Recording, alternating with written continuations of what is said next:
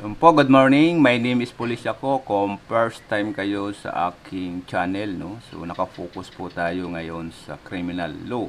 May at so, wala muna tayong sipat kilatis ngayon, no? So, pas muna tayo sa sabong today. So, siguro mamayang hapon. Medyo inalat.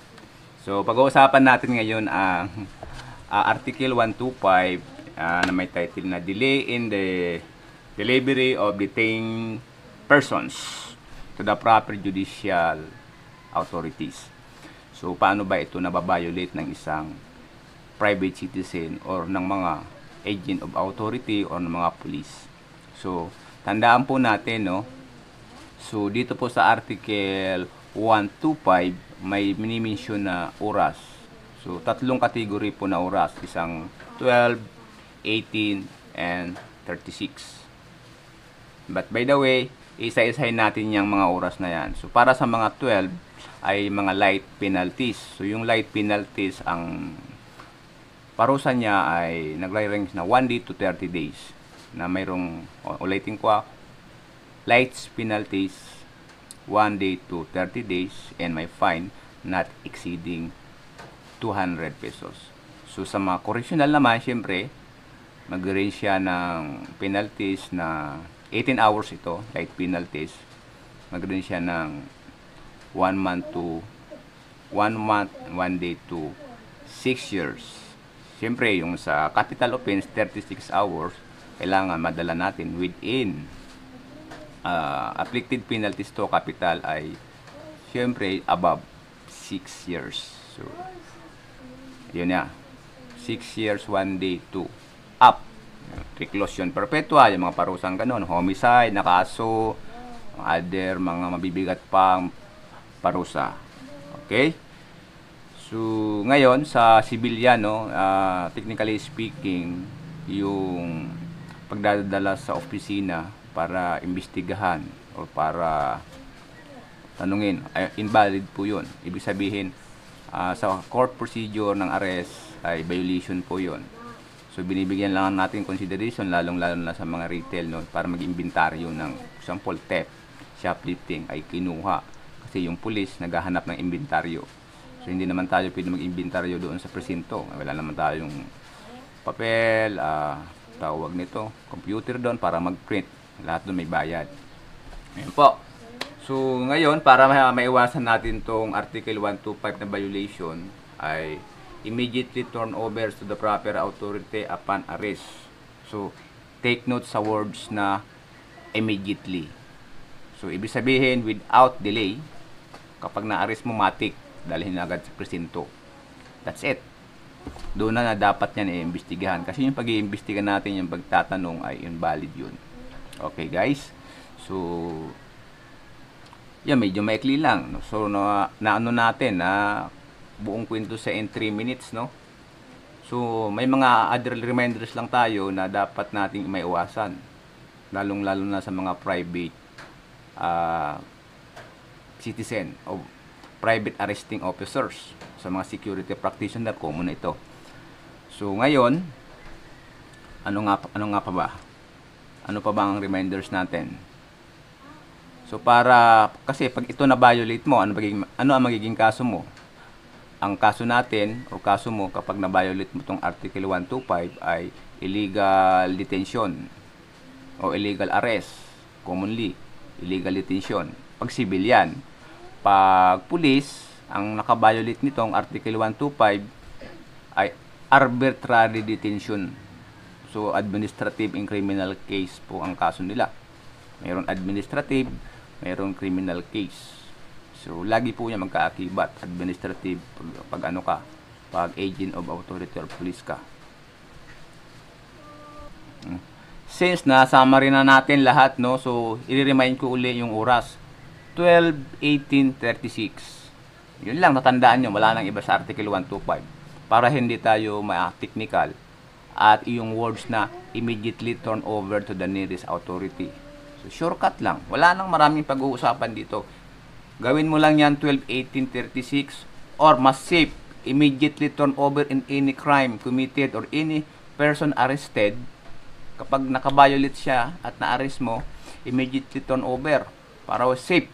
Diba? Anong maraming tanong. Turnover agad. Arrest, apply arrest, posas, and then turnover immediately. Kung gusto mo nyo talaga pinaka-safe. Wala nang maraming tanong, diretso. Ngayon guys ha.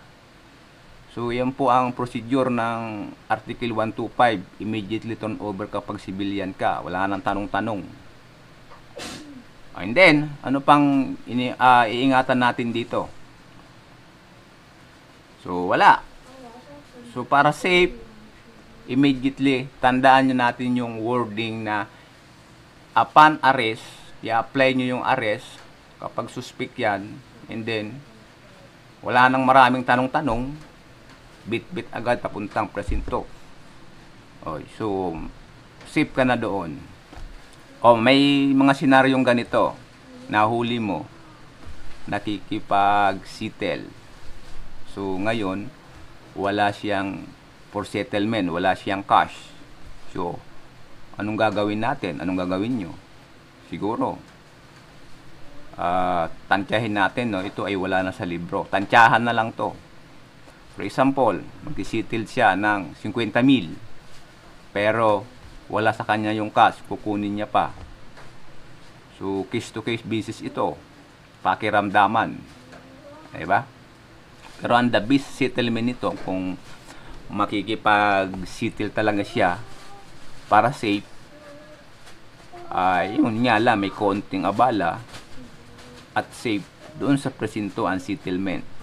Kung okay lang, kung kumpleto kayo sa tinatawag na equipment, meron kayong vehicle na pandala, kasi yung pag-transport po ng criminals, ng suspect ay again, napaka-technical. Kung wala kang service vehicle, lalong-lalo na yung mark vehicle, may, swerte yung may mga mark vehicle, no? Yung wala, pagtawag mo pa lang ng service ay madidili na. So, yung pa lang ay napaka isang isang trahedya ng mangyayari. At take note ha, during transport, please make always 200% secured yung criminals. Dapat hindi yung nagdadala ay hindi ma-overpowered. At least minimum of 2. Ipitin nyo. At take note, laging dapat siyempre, criminals yan ay nakapusas. Standard po yun, nakapusas. So again, meron tayong videos dyan na alam ang purpose ng handcuff. So huwag niyong kalimutan. At yung handcuff mo dapat ay may susi. Dala-dala mo din. Kasi pagdating sa presinto, wala palang susi yung handcuff mo. Abay, lagari yan. Diba? Lalagariin yan. So, magagalitan ka ng pulis. Lausi kang manong guard. Laso kang, lausi kang arresting officer. Nagpupusas ka, wala kang susi. So, yan po ha. Again, so maikli lamang po. Yan lang po yung mga reminders natin. Although, alam na natin yan, no? At nakakalimutan lamang ng ibang mga private citizen, ang mga private uh, tinatawag na arresting officers. Nakakalimutan yung bagay na yan sa sobrang tiwala at siguro dala na ng kapaligiran o dala na ng economics problem hindi nakakabili ng pusas na stainless. Ganyan guys ha so hanggang sa muli yan po lang po ang reminders natin regarding sa article 125 delay and first delay in delivery and detention and detain person to the proper judicial authority. Hanggang sa muli po. Ang susunod nating video sikapin nating matakil yung prescription of crime. So, yun, medyo mahaba-haba ng usapan naman yung prescription of crime. Kapag ang crime ba ay naganap, kailan ba dapat magdemanda? Kailan ba ang time duration yan? Years yan, years. Pwedeng months, yung mga light offense, may months, man year, may, mayroon years. So, sa years, specific ang nakalagay doon. So, ayan po yung i-discuss natin sa susunod nating video. Siguro bukas. So, hanggang sa muli po at maraming salamat sa pag-likes nyo at pag-subscribe so sana po mamag manatili tayo sa ating channel at suportahan para medyo siyempre lumago. Nasa 5.7k na tayo subscriber. Maraming salamat sa inyong suporta. So, hindi lang naman tayo may nagbibideo din tayong mga another information. So hanggang sa muli po, my name is Police Yako at your service.